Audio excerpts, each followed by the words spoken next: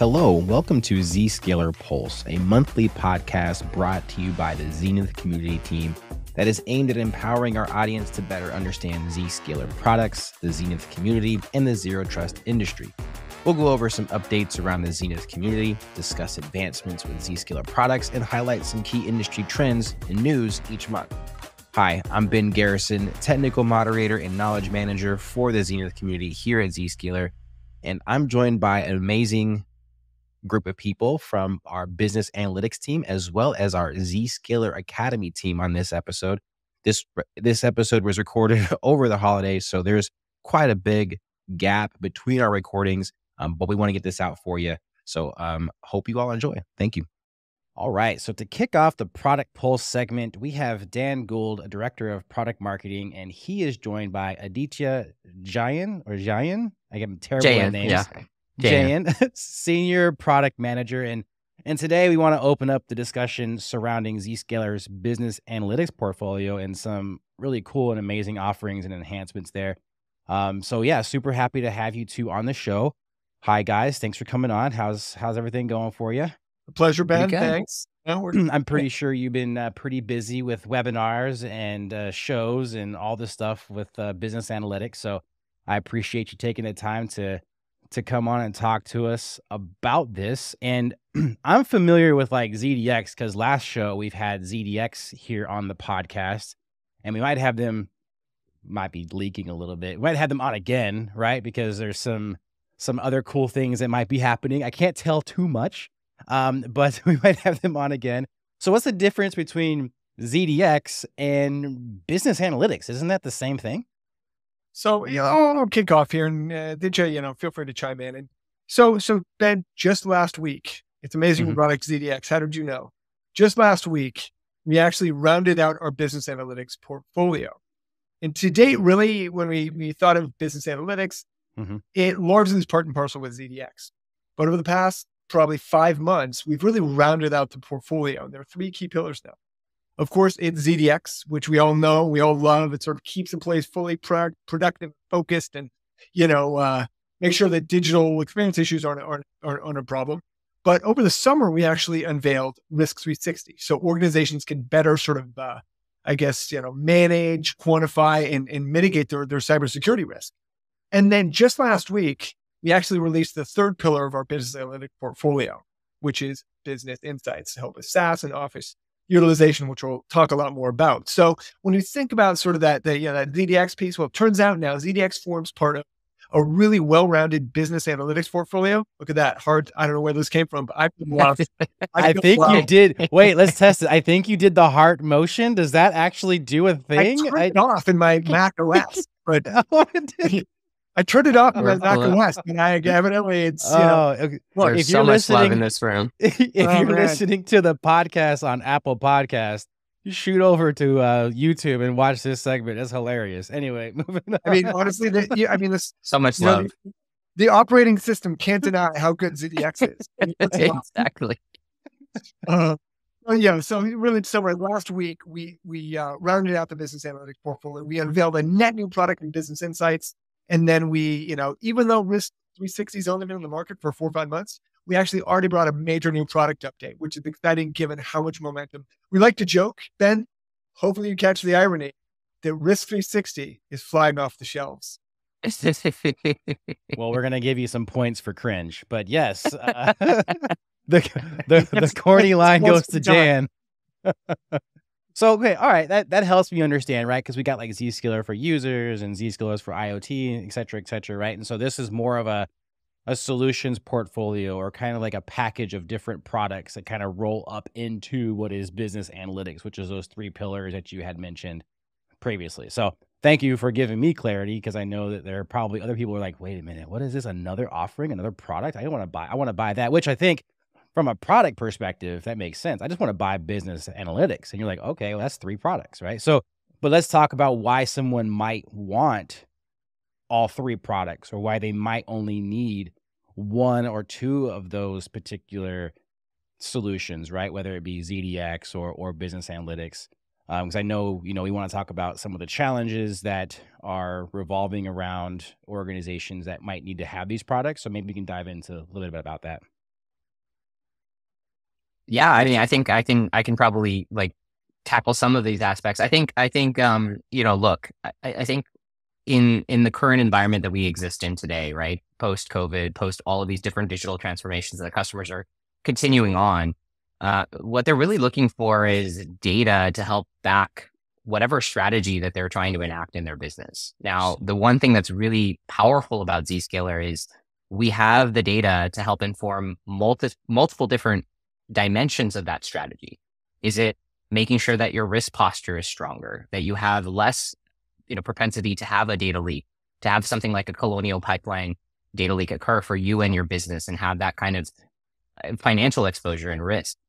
If you want to try and understand, you know, how do we improve the experience for our end users with regards to their mission critical SaaS applications so that they're not, you know, trying to close a deal and all of a sudden have a, you know, a static uh, experience and suddenly have freeze framing at an inopportune time while trying to have a, a strong closing uh, you know, closing argument as to why that customer should continue on and, and, and, and purchase their product? Or is it about helping you understand, you know, what do I all use in my portfolio in terms of applications or technology?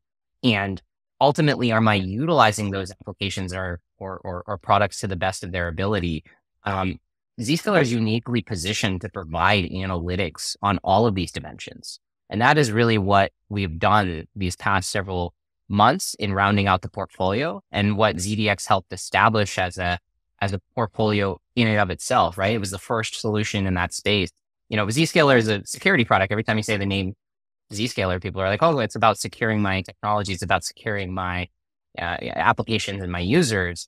But that same subset of data is useful for all of these other use cases. And that's really what we've come to realize over the last several months with both Risk 360 and Business Analytics, or sorry, Business Insights, is to say, you know, we have all of this data. Let's make it, po- you know, possible for users to use that to run their their business more efficiently, or with a higher level of productivity, uh, or with less risk.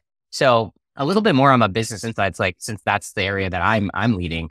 Um, you know, I think one thing that I've noticed, and I'm I'm I'm I'm, very aware of this this challenge, is that with the advent of COVID and, you know, when people started working remotely and worked from anywhere, SaaS applications were critical to being able to achieve the outcomes during that time period, right? You needed to have best of breed solutions to be able to enable that collaboration and the seamlessness of experience. You, you had new, new providers start showing up in that market that really took off. Like you look at the Miros of the world, um, which I think their real name before they became Miro was something really interesting. It was like Project Real Time Board or something like that but Miro took off uh, really because people needed a way of collaboratively, you know, collaborating seamlessly virtually, and other providers in that space also did. But that became hyper specialized, right? Those types of technologies became hyper specialized for that use case, and you had proliferation of those. And so now you're looking at it now today, and you got six different providers in the market that are rolling for the same use case.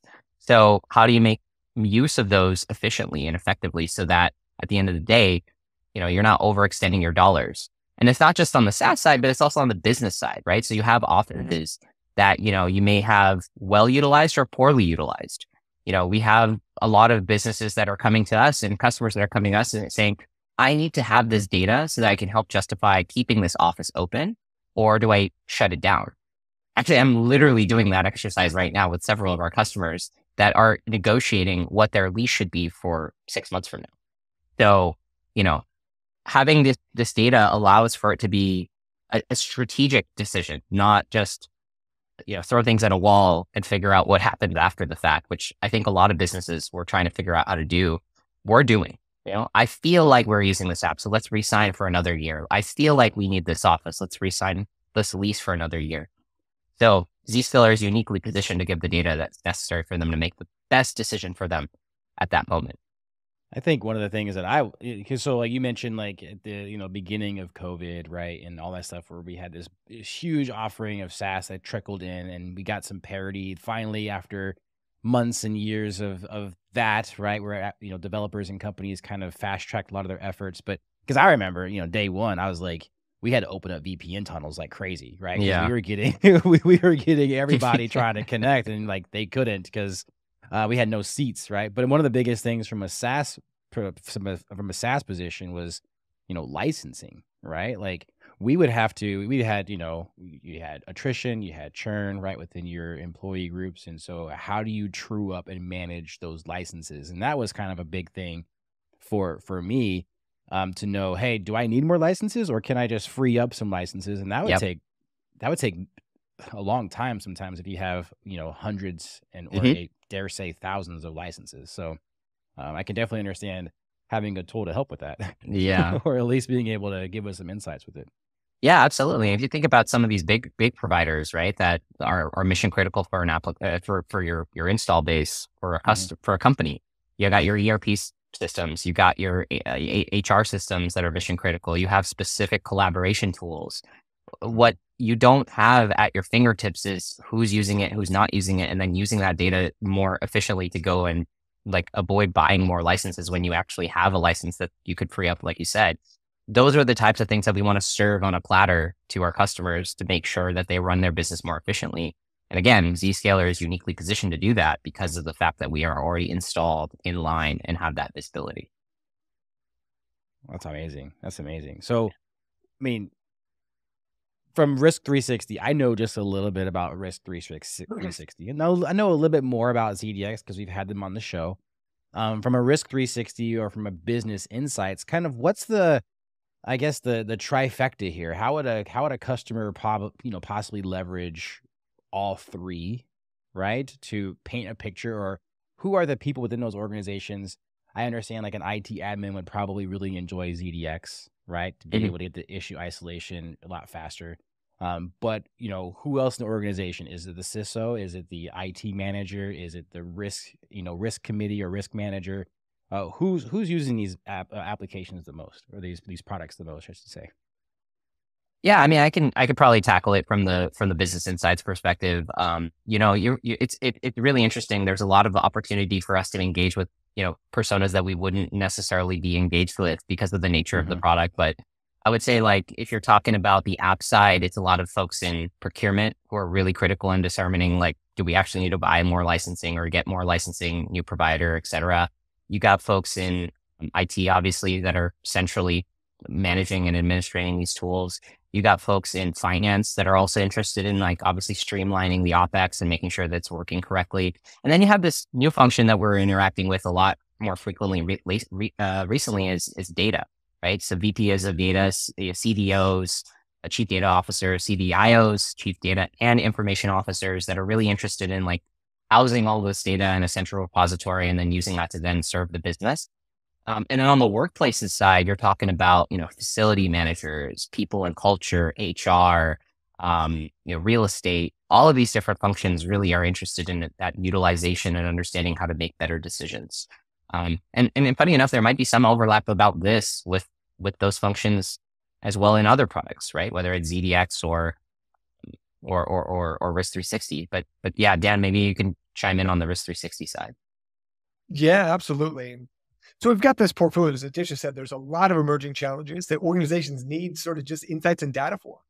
Uh, and so we can solve a lot of these emerging challenges for different teams in, in an organization. Uh, it might be, again, the real estate team who's really wondering, do we need to open up an office in Denver or do we need to downsize, you know, in Dallas? And so they finally have the insights. With respect to Risk 360, um, obviously can help uh, a lot of people on the security side of the house. It's for starters the people you would guess, security leaders, CISO, CISO minus one, so to speak, people who tend to be on the hook for really understanding overarching cyber risk. Uh, and what's more, oftentimes in larger organizations, there is also somebody else who heads up the security compliance or security risk role. And those folks also tend to really gravitate towards a product like Risk 360. To date, these people have actually had a pretty, you know, uh, not, you know, unpleasant status quo and that frequently they would just like pull the like, you know, vulnerability scanner data and try to make sense of it, and maybe roll in some phishing logs and build a report from that.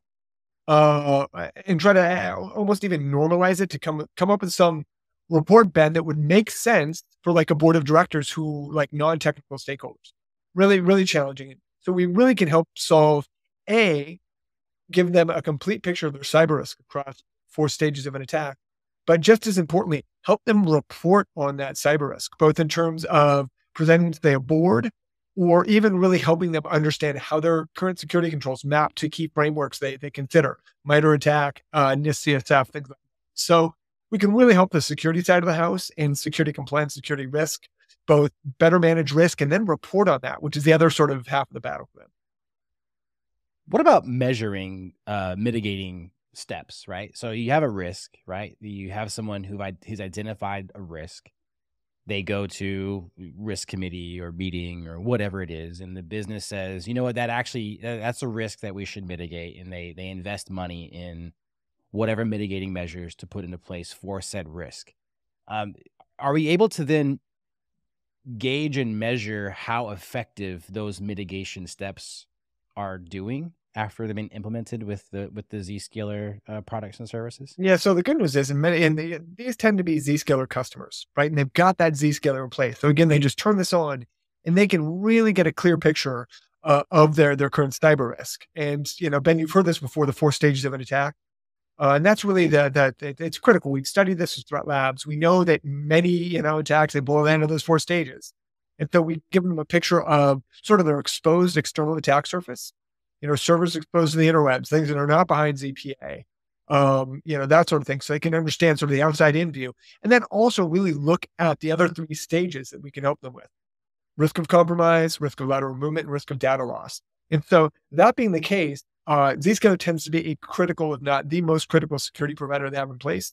So they can instantly understand where there are gaps. Maybe they need additional controls. Maybe there are some misconfigurations that, you know, probably inadvertent that they can sort of harden to get to a sort of a stronger security posture. So they absolutely can see where the gaps are and where the next steps are uh, in, in sort of their cyber risk journey. I kind of am a little spoiled because I get to see this is really awesome because this is something that I even struggled with when I came working for Zscaler originally was okay, well, we've got all these products, right? And we got, you know, the concept of platform, right? Obviously the Zscaler platform as a whole makes is is very powerful. But you have these different these different pillars of offerings. And so how do they all connect? How do they all communicate and how do you leverage the different products and the different tools at the right time to achieve to achieve the goal? and and doing the podcast and and getting getting more involved with this i'm i'm starting to be able to connect a lot of really cool dots to how organizations um, can utilize this right and and utilize their products and services you know and we haven't even talked about you know like deception right which is another key aspect to this where if you're really worried about it you can you can set up some traps out there to, to collect data and you can make to inform decisions off of that within your uh, within your organization. So this is actually really awesome, cool stuff. I'm I'm I'm impressed myself. Yeah, and one thing one thing to note as well is like, look, the that that's a great example of like the interplay between the products of the Zscaler platform. So like, imagine you deploy deception, that actually changes your risk posture, your your risk score, mm-hmm. based off of the fact that we've actually deployed deception. And how much does that actually uh, uh, you know, change your risk across those four stages of attack, right? And so that's the interplay and the benefit of the Zscaler platform is like all of these products are talking to each other. They're they're they're they're designed with this intent to speak to each other and then purpose build data and dashboards and visualizations that are really useful for the end user when it comes to solving that need for what the product exists to do. Yeah, and, and I know that we wanted to talk a little bit about what was new with Risk 360, mm. and I know specifically we wanted to talk about uh, some possible some financial modeling or possibly yep. some you know SEC sample disclosures that yep. kind of stuff. So maybe we can dive into that a little bit before we wrap up and uh, and get, get you guys out of here. Yeah, so I don't so, want to take up any more oh, your time. and just to revisit my terrible joke, Risk 360 has been flying off the shelves you know, I almost said a terrible joke too when you said that the the the steps of a breach, right? And when I was I was laughing because I was like, yeah, it's panic, run, drink coffee, repeat. also true. Also true. Also hey, true. you know, on a serious note, in the past few months, given that cyber risk is a, an ever sort of more pressing initiative at at at you know enterprises, uh, you know, board members get up or CFOs get up and see the same headlines we do about ransomware attacks or data breaches, et cetera, and then they turn around and I say this somewhat tongue in cheek, but like start frantically texting the CISO, right? That knee jerk. That what's our what's response, our posture? Yeah. Are we exposed? Like what's going on?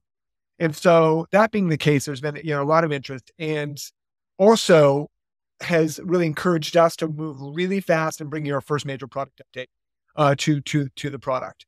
and a handful of things like you mentioned. So in the product from day one, we actually had financial modeling or financial exposure. So you can look at cyber through the lens of sort of the security risk factors themselves, or you could also look at it through the list of financial exposure. So we're able to really work with some of our, our quants, if you will, internally, and we gave them some really high quality data. And they were able to build effectively an interface that mapped cyber risk to financial exposure.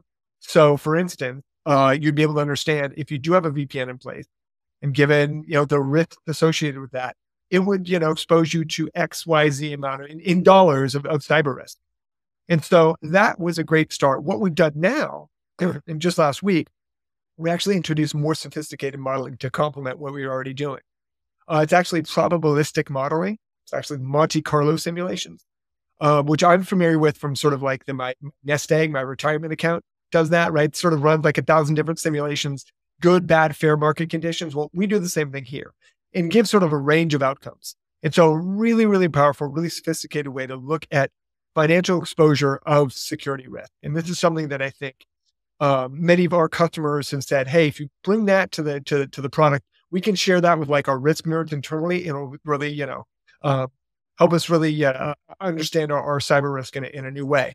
Something else that I think you know it's appropriate we're doing this around mid December, Ben, is the SEC over the summer passed some new regulations uh, asking companies on their annual 10Ks to disclose more about how they're managing cybersecurity, how they're managing cybersecurity risk. And so actually the rules went into effect December 15th. And so henceforth and forevermore on a company's annual 10K, they have to talk uh, about how they're, they're, they're effectively doing cybersecurity. And the aim was to help investors understand just how seriously a company takes its, its cybersecurity uh, to, to help inform their investment decision. And so that being the case, we actually have included sample SEC disclosures in the product to help them along the way. Because there are a lot of questions about what you know what did we discuss? How much should we disclose? And we actually help them out of the box with a sort of uh, an easy disclosure that gets them 70% of the way there. They can then customize it. We've actually also rolled in a new cybersecurity maturity assessment.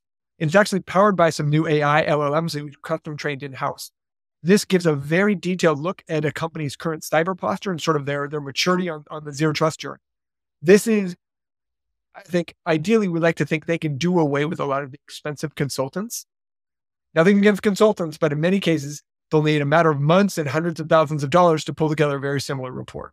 So this is available out of the box in a single click for all organizations using Risk 360. And that's actually just the beginning. There are new, new, uh, new risk factors. There's some additional support for, you know, cyber insurance questionnaires. There's a ton going on in the product and we're just getting started. So we're really excited about it and not to mention, I mean the the cyber cybersecurity risk assessment or maturity assessments, right? So I worked for an MSP for a little while, right? And we would do that as part of our yearly renewal and mm-hmm. yearly, mm. you know, a, a, a, tempo with the customers that we would have a security assessment and we would do this kind of this post mortem of the last year, et cetera. So if you are working with a partner or with an MSP or a consultant, and they are also partnered with Zscaler, this is something that for our partners that out there, hey, this this cybersecurity maturity assessment is something that you should probably really be offering to your clients because it's going to make that that end of year or quarterly or whatever it is that you do a lot easier because they're already within the platform. So yeah. Awesome. Well, you know, thanks so much, guys. And I know we're recording this on December 19th, this particular session. So when the podcast comes out, we'll probably not be until sometime in January. But uh, so for Dan and Aditya, you know, happy holidays and thank you so much for coming on. And I know we're gonna have a lot of fun times in the in the next couple of weeks and getting some some will rest. So appreciate it. Thank you so much. All right, thanks. Okay, now that we just got done meeting with Dan and uh, team, we are going to transition over to our Zscaler Academy team.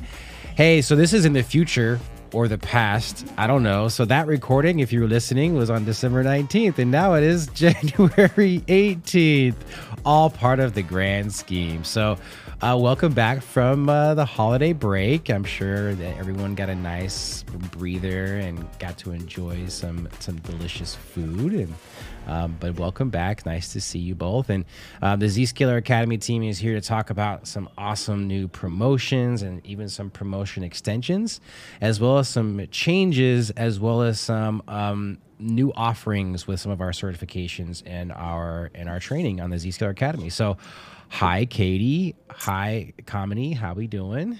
Doing good, Ben. How are you? I'm, I'm doing great. Doing fantastic. Doing fantastic. yeah. It's a new year. We are into the new year fast and furious.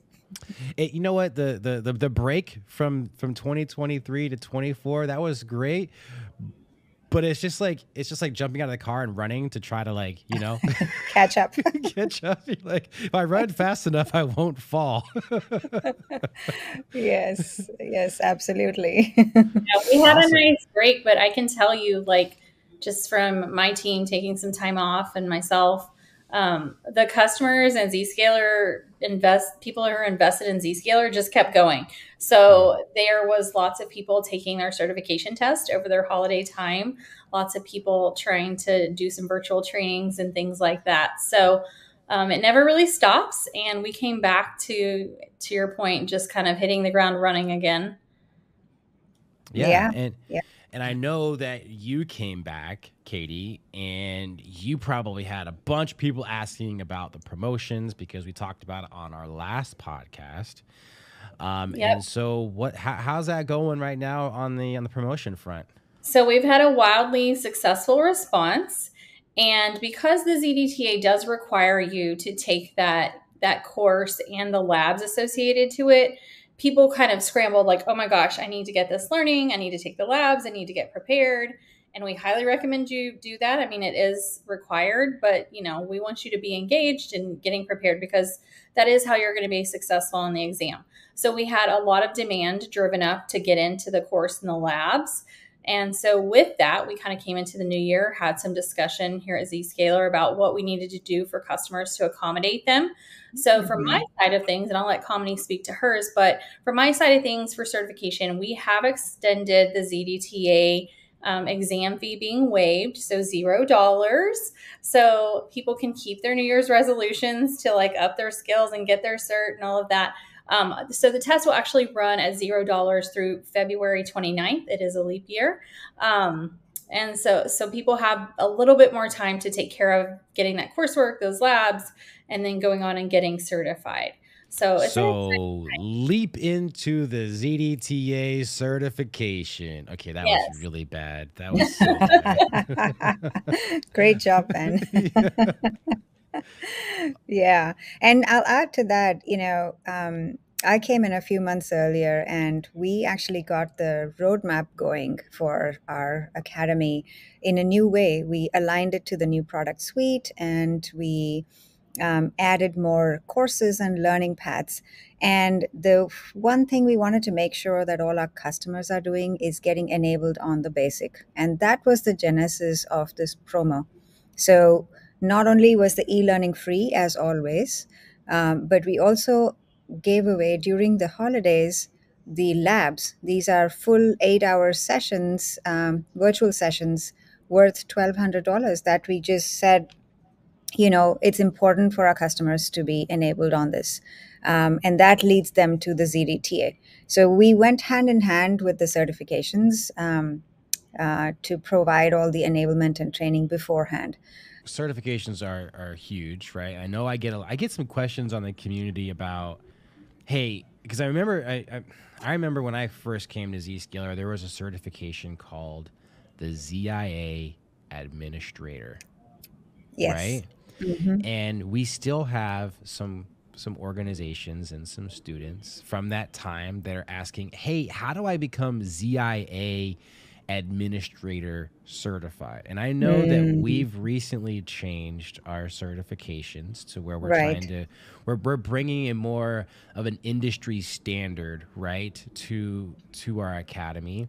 But right. I do know that a lot of those principles that were covered and that were certified in the ZIA administrator were, were transitioned into other areas. So maybe right. you can touch on a little bit about that strategy and, and where someone might start because the ZIA administrator is kind of like their starting point.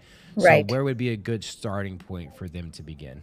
Yeah, I, I'll talk about the training and the lab and the general path for ev- that we recommend for every customer, every new customer or a new individual who wants to start training. And then, um, Katie, if you don't mind adding after that, uh, how the certifications align to it, right? So, for a new customer, what we recommend is to start with the Z4U Users Essentials course or learning path.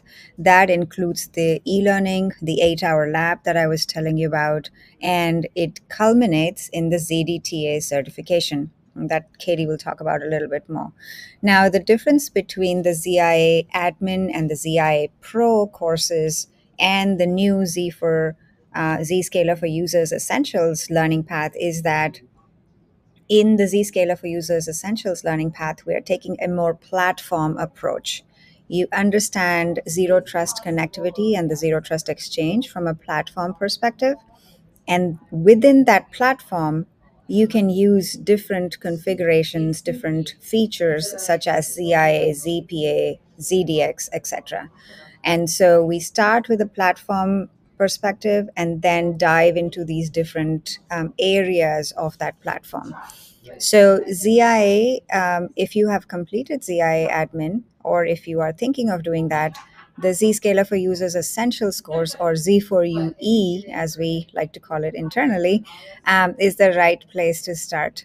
Um, and this also provides the foundation to go ahead and do any of the other specializations we have. So this is kind of like the foundational course, and then beyond that, you can, you know, specialize in data protection or cyber threat protection or workloads. So depending on which area of um, cloud security you're functioning in, you can do different specializations. So this also starts. This is also the starting point for other specialization courses. Yep. And to, to Kamini's point, it does, you know, once you've gone through that course and you've gone through the labs, your then runway is clear to come take the ZDTA exam.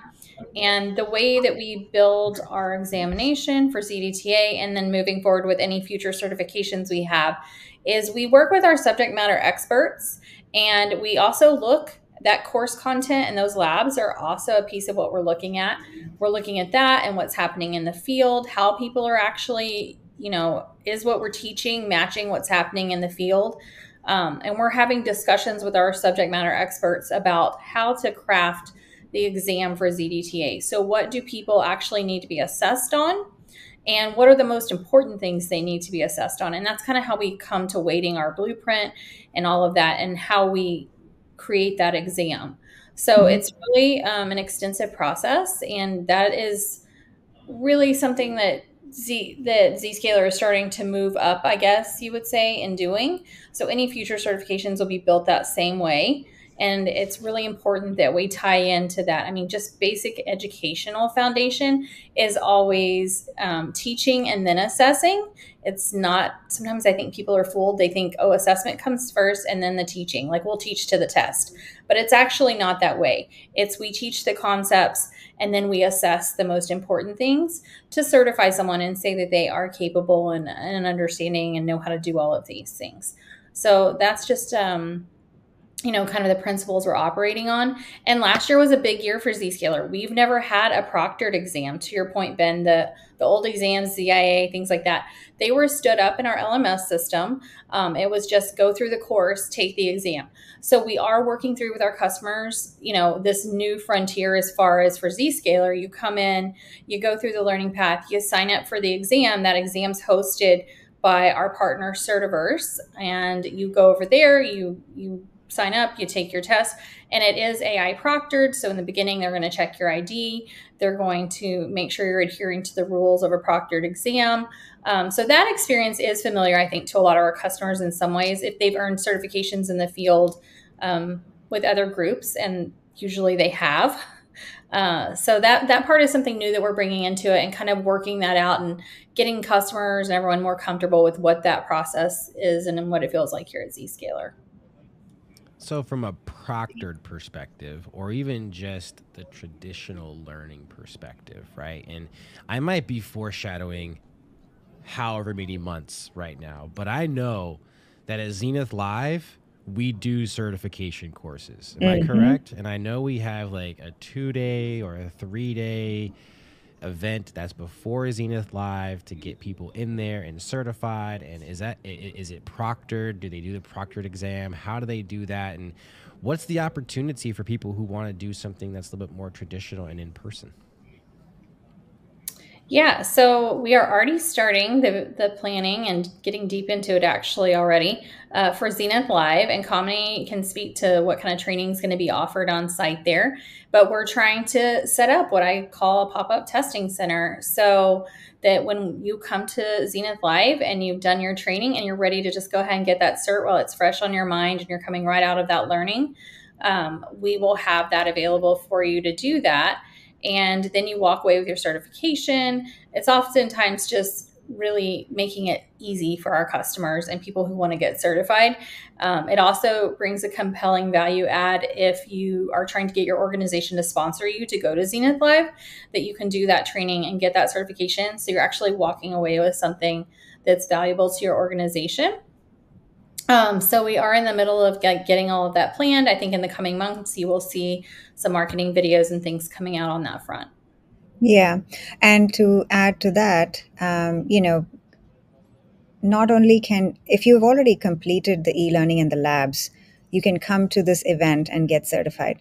But if you haven't, you also have the option of getting trained during the event and taking the certification during the event. So you can do all of it during the event.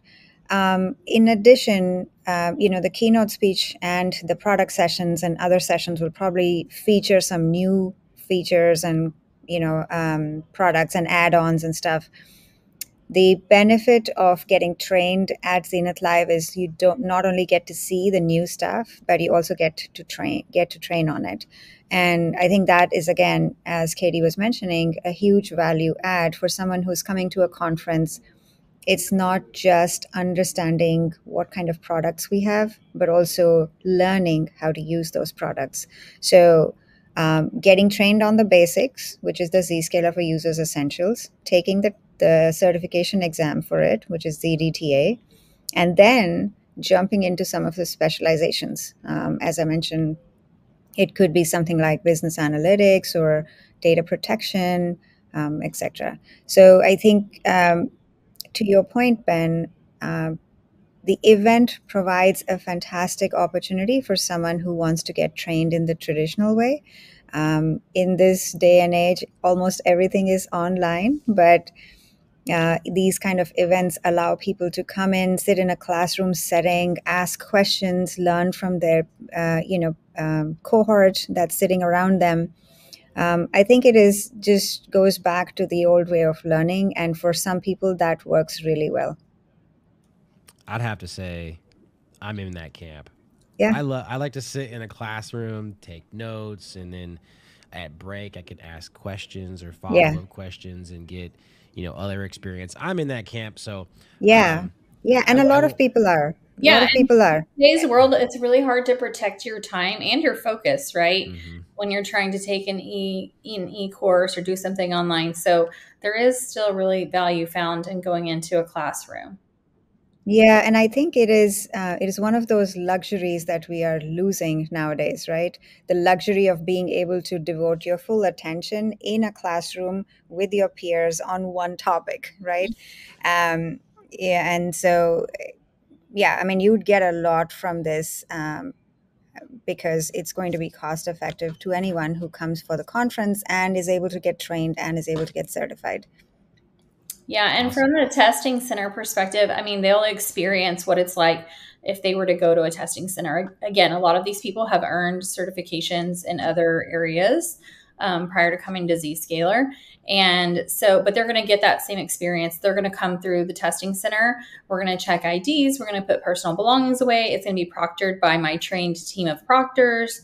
Um, so that part of it is going to feel somewhat familiar, I think, to some of them. And, and it'll help them like get their certification, get out the door. And we promise not to let you leave empty handed. We'll probably have um, some sort of swag to give you. So, and recognition. Yeah. You mean yeah. I can't use my Google on my phone? Man, I'm not. I'm not passing that test. yeah, we're not mobile yeah. device qualified yet. Well, hey, Katie, uh, Kamini, thank you so much for for coming back on the podcast. And you know, there are going to be some familiar faces. We're going to have them on every month if I can, because there's a lot of content there. And as we get that drumbeat getting into Zenith Live, there's going to be a lot of cool new things happening. And as we launch new certifications and new courses, we want to make sure we talk about that. And so, uh, be, feel free. There is a section on the community, the Zscaler Academy section. Um, there's there's subcategories. Um, let's dive into the conversation. Let's talk more about the certifications, talk more about how you can learn about Zscaler products and services, and then also share your knowledge with the rest of the community. So again, thank you so much, Katie and Kamini, and uh, we'll see it. We'll see you next time. Okay, huge thanks to our incredible guests for sharing their insights. It's been a fascinating discussion that we've learned so much about Zscaler's business analytics portfolio certification courses and you know a lot more from the zscaler academy team. So make sure to check out the zscaler academy section in the community for more information.